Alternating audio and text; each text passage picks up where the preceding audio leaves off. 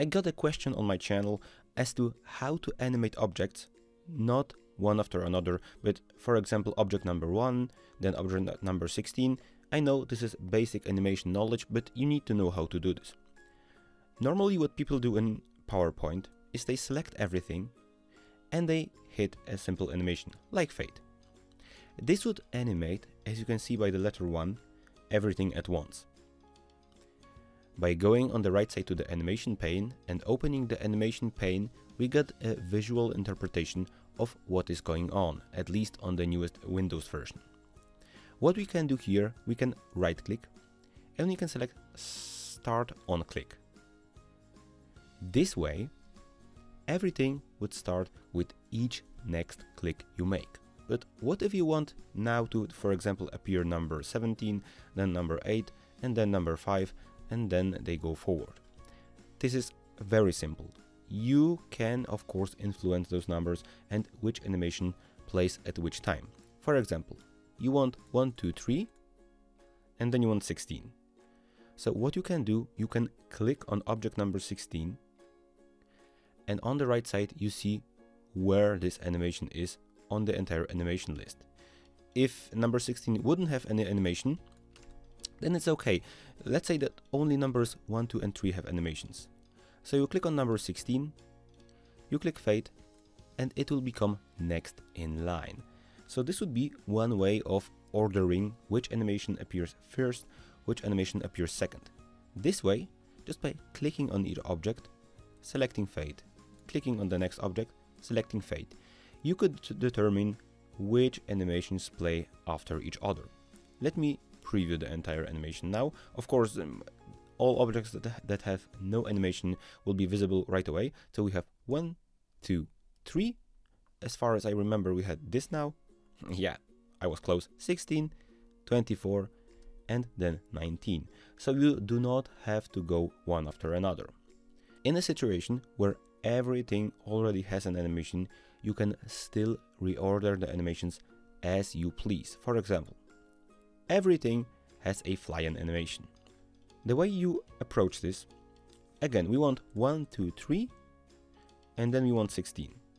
As we click on 16, we see where it is, we just take this animation and we put it right behind number 3. This will now become animation number 4. It is represented by this number and if you want to make this even simpler on yourself, but that requires a lot of work, you can open Home and open the Select selection pane. As I click on different objects, it shows me which animation does it have applied.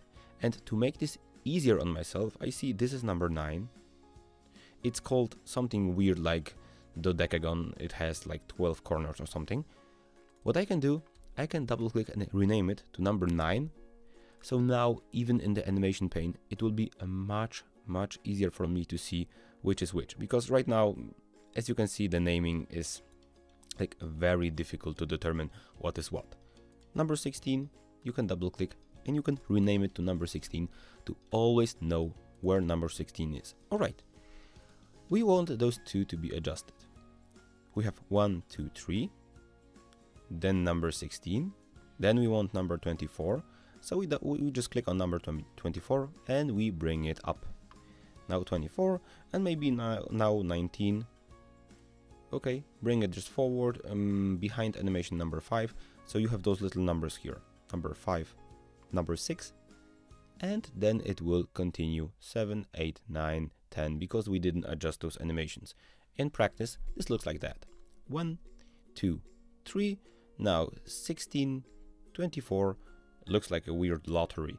19 and then those animations weren't adjusted so they just will fly in one after another. I hope this is enough of explanation how to change which animation plays first, which second. This animation 4 currently makes this object to fly in. But what we can do, we can go to our animation pane, we can click on other objects, like with my shift click 1, 2 and 3, and we can add an animation from the exit animation which will be fade. So those three animations disappear. Now this got a bit more complicated because look at that. normally those three animations would appear right at the end of this entire animation sequence. But what I want, I want them to disappear when number animation number 4 happens. So what I do, I just take all three of those animations, I put them right where number 4 is, and instead of having to click my mouse, I right click and I select start with previous. What that does, it will start with the previous animation, which is animation number 4. Now let me explain this in practice. What will happen now? We got 1, 2 and 3, 1, 2 and 3. And now is the key moment because animation number 4 has 4 animations.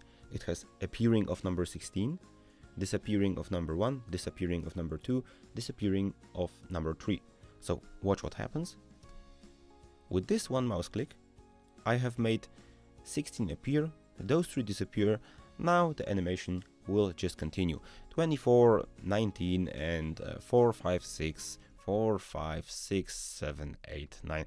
All animations just follow along as we have them. So this is how we could make, for example, explainer videos and explainer animations and many different things could happen on our screen after another. Thank you very much for listening to this tutorial. If you'd like to learn PowerPoint and animation with me, I leave you with links to my courses. I have, for example, a course about making explainer videos in, in PowerPoint, which is heavily focused on animation. I'm sure you would gain a lot of knowledge there. It would also support me as a designer. Thank you very much for listening and see you in other tutorials.